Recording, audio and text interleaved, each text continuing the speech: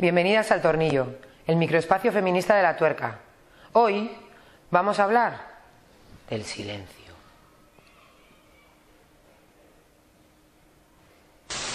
Según la RAE, silencio es abstención de hablar, falta de ruido y pasividad de la Administración ante una petición. Vamos a ir por partes con esa definición.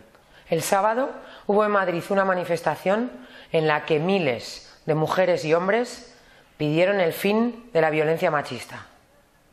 Desde el sábado, cuatro mujeres han sido asesinadas por hombres que decían quererlas.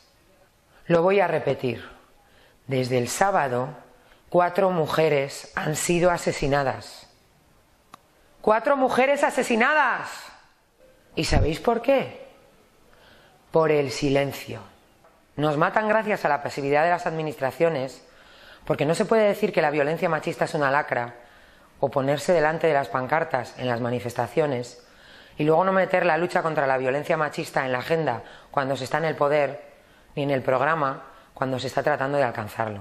¿Cuántas veces has tenido en cuenta las medidas contra la violencia machista que tiene cada partido antes de decidir a quién votar? ¿Cuántas veces has exigido a un cargo público que tenga respuestas concretas contra la violencia machista?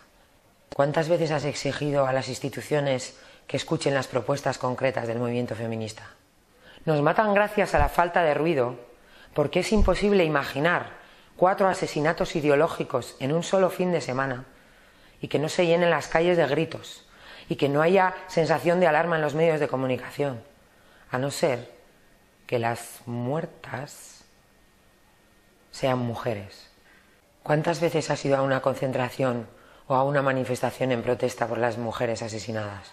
¿Cuántas veces has hecho todo lo posible para que la lucha contra la violencia machista esté en la agenda de tu partido, de tu sindicato, de la organización en la que militas? ¿Cuántas veces has hecho algo activo para acabar con la violencia machista?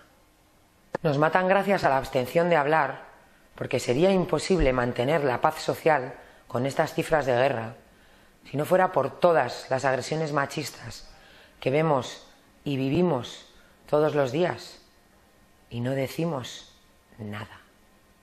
¿Cuántas veces has impedido que delante tuyo se tengan comportamientos machistas?